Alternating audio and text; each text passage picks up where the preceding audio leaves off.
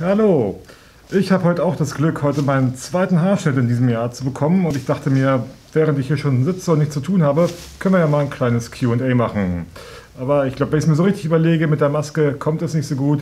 Wir warten erstmal, bis mein Haarschnitt fertig ist und dann gibt es das Q&A. Bis gleich.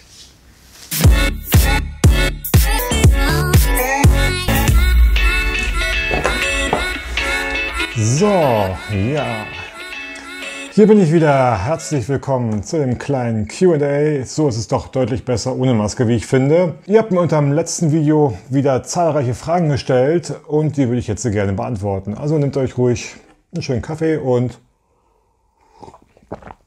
Falls ihr selber auch Fragen habt, würde ich euch bitten, das direkt jetzt hier unter diesem Video in die Kommentare zu schreiben. Und die Fragen, die heute hier bei diesem Video drin stehen, die kommen dann beim nächsten QA-Video, es kommt jetzt glaube ich monatlich, je nachdem wie ich es schaffe, ins nächste Video mit rein. Vielen Dank an der Stelle und wir starten gleich mal mit der ersten Frage. Ist Reiswasser denn effektiv? Das kommt immer ganz darauf an, was ihr erwartet. Also wir meinen jetzt Reiswasser zur Haarpflege, für alle, die es nicht ganz genau äh, wissen. Meiner Meinung nach ist äh, Reiswasser wirklich eine gute Angelegenheit. Es ist ein sehr, sehr günstiges Produkt. Man kann es selber herstellen, es ist ein schönes Hausmittel und es wird in vielen anderen Kulturen auch äh, verwendet. Es ist definitiv als Conditioner oder Spülungsersatz gut geeignet, weil es wirklich die Haare glänzend macht und leicht erkennbar äh, durchaus macht. Was ihr aber nicht davon erwarten könnt, ist das, was ich auch in vielen YouTube-Videos gesehen habe oder was man auch in sehr vielen Tutorials findet. Ähm, die Haare wachsen von der Anwendung mit Reiswasser nicht schneller. Das passiert nicht. Ähm, auch die Haare von der Struktur her, also chemisch gesehen und physikalisch gesehen, werden die Haare nicht fester und nicht mehr dadurch. Ähm, es kann aber sein, wenn ihr vorher strukturgeschwächtes Haar habt, äh, was immer so ein bisschen ja, unruhig von der Struktur ist und äh, nach einer guten Zeit, also nach zwei, drei Monaten Anwendung mit Reiswasser, dass dann die Struktur schöner ist und die Haare sich besser anfühlen und insgesamt ein bisschen kräftiger sind. Aber das, das reine Haar, der Haardurchschnitt sozusagen, dass der dadurch durch Reiswasser gekräftigt wird oder dass die Haare eine Spitzen an Haarlänge zunehmen, das passiert nicht. Da wenn ihr euer Haar regelmäßig mit Reiswasser ähm, pflegt und die Haare gepflegt sind, dann brechen sie unten weniger ab. Und ähm, es kann durchaus sein, dass ihr, wenn ihr das regelmäßig benutzt, dass sich die Haare schöner anfühlen, endlich die Länge haben, die ihr bekommt. Aber es ist kein Wundermittel, dass ihr jetzt ein, zwei Mal rauf macht und schon wachsen die Haare wieder schneller. Aber um auf die Frage nochmal abschließend zu antworten, Reiswasser ist schon effektiv. Also es ist ein guter Conditioner und Spülungsersatz. Wenn ihr da nichts findet, äh, was ihr euch gefällt, dann könnt ihr es alle mal ausprobieren, mit Reiswasser dann die Haare nach dem Shampoonieren zu pflegen. Die nächste Frage, wie ist deine Meinung zu Insi Bubble? Also für alle, die es nicht wissen, damit sind diese Zopfgummis gemeint, die aussehen wie Telefonkabel. Hm, ich weiß nicht. Die etwas Älteren erinnern sich, die anderen können mal alte Telefone googeln. Die hatten ein Kabel an der Schnur. Ja, jetzt trägt man sie als Zopfgummi. Ähm, ja, meine Meinung dazu. Ich bin kein Freund davon, dass man die Haare viel ähm, zusammenträgt, sondern ja, offene Haare sollten auch immer offen getragen werden. Aber wenn ihr schon einen Zopf machen müsst, dann sind solche ähm, Insi Bubbles oder jetzt einfach mal Zopfgummis, die aussehen wie Telefonkabel, wirklich äh, RH-schonender. Sie ähm, sind nicht so ganz so extrem, haben nicht so einen extremen Zug drauf, wie zum Beispiel jetzt so Stoffgummis, die noch ähm, an der einen Naht mit Metall fixiert sind, sondern verteilen den Druck gleichmäßig im Haar, sodass nicht eine Stelle besonders viel Druck ausgesetzt ist, was auf jeden Fall Haarausfall vorbeugt. Ähm, und mit der Zeit werden die auch immer ein bisschen ausgeleierter, also was auch dadurch ähm, ist, weil das ist halt ein sehr schön dehnbares Material. Und das Gute ist aber, wie ich finde, dadurch, dass man sie ja so ineinander verzwirbelt, hält es doch, also es ist dehnbar, es hat nicht so einen hohen Zug an den Haaren und es hält auch. Daher ist meine Meinung durchaus positiv und ähm, ja, klare Empfehlung dafür. Wenn ihr lange Haare habt und die Buttons aufmachen, nehmt diese Insi, Invisi Bubbles, diese Telefonkabel ähnlichen Zopfgummis. So viel dazu. Die nächste Frage. Was hältst du eigentlich von Shampoo-Bürsten, die so aussehen? Ich blende euch mal das Bild ein, das ich auch bekommen habe. Ja, und ich benutze auch bei mir im Salon natürlich seit vielen Jahren solche Shampoo-Bürsten, meistens um äh, Conditioner oder Spülungen quasi im Haar zu verteilen, da die wirklich fürs, für den feuchten Zustand sehr gut geeignet sind. Man kommt sehr leicht durch und es fühlt sich auch für die Kopfhaut ähm, angenehm an. Also die meisten Kunden finden das auf jeden Fall angenehm.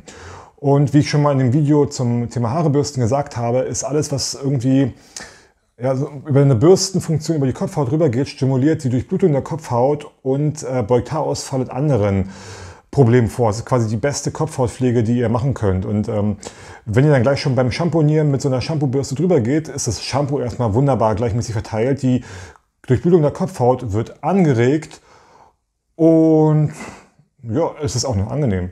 Was will man also mehr? Also daher sind auch Shampoo-Bürsten, so wie diese jetzt, äh, auch sehr von Vorteil. Wobei ich auch bei Shampoo-Bürsten, ja, also wenn ihr jetzt nicht ein, eine habt, die total billig verarbeitet ist, ähm, finde ich eigentlich alle Shampoo-Bürsten. Da kann man, glaube ich, nicht viel verkehrt machen, außer natürlich, sie jetzt nicht anzuwenden. Daher auch an dieser Stelle eine ganz klare Empfehlung für mich, von mir aus, für Shampoo-Bürsten. So, die nächste Frage. Sind Sulfate in Shampoos gut oder schlecht?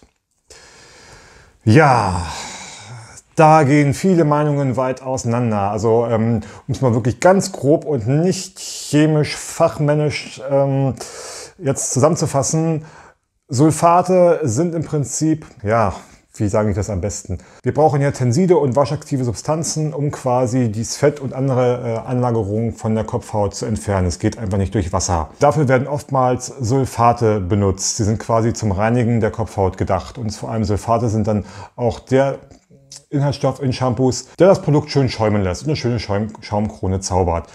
Jetzt gibt es ähm, Sulfate, die aus der ja, petrochemischen Herstellung kommen, also quasi aus der Erdöl-Weiterverarbeitungsindustrie. Und jetzt gibt es mittlerweile Sulfate, die aus der Naturkosmetik kommen, oftmals aus Zuckertensiden oder Kokos oder sowas ähm, kommen. Die sind oftmals in Naturshampoos drin. Grundsätzlich brauchen wir irgendwas, um die Haare zu reinigen. Also irgendein Tensid muss im Shampoo drin sein, damit wir das reinigen können. Jetzt gibt es die SLS und SLES. Das sind Sodiumlaurylsulfate oder Sodiumlauretsulfat. Ich blende es hier oben nochmal ein. Ich weiß nicht so richtig, wie man das ausspricht. Das sind die, die aus der petrochemischen Industrie kommen, also die komplett chemisch sind, die so ein bisschen Filmbildner auf den Haaren lassen. Die machen das Haar schön weich und geschmeidig, aber hinterlassen dann auch ähm, so einen Film drauf. Gerade wenn man Naturwelle oder Locken haben möchte, ist das echt von Nachteil. Und dann gibt es noch Sodium-Coco-Sulfate. Das ist größtenteils immer Naturshampoos drin und ist schon das Natürlichere. So gesehen kann man die Frage nicht beantworten. Sind Sulfate gut oder Es gibt Sulfate aus dem chemischen Bereich und es gibt Sulfate aus dem naturkosmetischen Bereich. Je nachdem, was, für einen, was man selber möchte, muss man schauen, wonach man geht. Ich verwende keine Shampoo oder verwende ungerne Shampoos mit ähm, chemischen Sulfaten wie äh, Sodiumlaurylsulfate, weil ich halt diesen Filmbildner nicht möchte, weil der, wenn man zu viel davon im Haar drin hat, kann es sein, dass Farben nicht mehr so schön werden, wie man sich das vorstellt oder die Haare sind einfach nur noch glatt und hängen runter. Ich möchte aber mit dem Haar noch, dass es noch Naturwelle hat, gerade auch beim Haare finde ich das wichtig, dass sich die Haare ein bisschen Naturbewegung hat, damit ich weiß, wie sind die Haare auch, wenn die Kundin sich die Haare selber trocknet, sodass sie quasi einen relativ geringen Style Stylingaufwand hat, quasi waschen, trocknen und die Haare tragen. Daher bin ich immer ein Freund davon, dass man da auch bei den Pflegemitteln und bei den Shampoos so wenig wie möglich Filmbildner drin hat. Ja, die letzte Frage. Woran erkennt man einen guten Friseur? Äh, nein, fangen wir gar nicht erst so an. Es ist schwierig. Man muss ein bisschen ausprobieren. Ähm, man muss auch wissen, was man selber möchte von einem Friseur, was man da erwartet. Und dann finde ich, ist immer die beste Möglichkeit durch Weiterempfehlungen. Fragt, fragt rum bei Eltern, Freunden, ob die jemanden kennen im Freundes- oder ob die einen guten Friseur haben, den sie euch auch empfehlen können. Am besten auch Freunde, die irgendwie ähnliche Haare oder die ähnlichen Vorlieben haben für die Haare, wie ihr selbst auch. Dann werdet ihr meistens fündig. Wenn ihr jetzt neu in einer Stadt seid, ist das natürlich schwierig. Dann würde es sich äh, lohnen, mal online nachzuschauen und in die Kommentare zu schauen. Und nicht nur, ob ein Friseur jetzt gute oder schlechte Bewertungen hat, sondern auch, was die Leute in den Kommentaren schreiben. Ob das mit euch zutrifft oder ob das für euch nicht hinzutrifft. Das ist immer das, was ich euch dazu raten würde. Erstmal im Bekanntenkreis und bei Freunden ähm, nachzufragen, wenn nicht dann mal online in die Kommentare reinzulesen und dann natürlich ausprobieren und vielleicht auch dem einen oder anderen mal ein bisschen mehr die Chance geben, mal, wenn man auch mal einen Fehler gemacht hat, das wieder, den wieder auszubügeln sozusagen und dann nochmal beim nächsten Mal eine Chance geben. Und wenn man merkt, es passt wirklich einfach gar nicht, dann kann man immer noch wechseln. Und wenn ihr noch weitere Fragen habt, dann schreibt sie gerne unten in die Kommentare und wenn euch so ein Video gefallen hat, dann einmal Daumen nach oben und sehr gerne auch den Kanal abonnieren. Das freut mich wirklich. Dankeschön an dieser Stelle und wir sehen uns dann beim nächsten Video.